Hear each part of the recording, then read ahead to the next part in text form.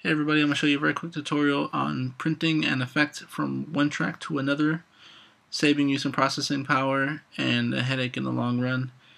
Um, we're going to basically just route one signal to a blank track using buses. So I have this bypass so the levels are the same because there's no effect happening. But when I unbypass it, you can hear the difference and also visually see the difference in the audio level. So with that turned on, you can see in the printed track the gain is boosted up.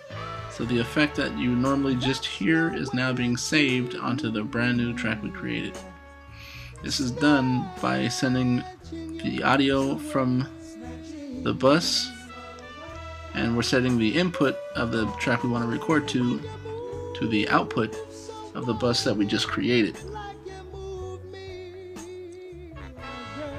So now our effect is permanently saved in there. So the only drawback from that is if you want to make any corrections, you can't because it's saved on there. So it's always good to save a copy of the original audio file.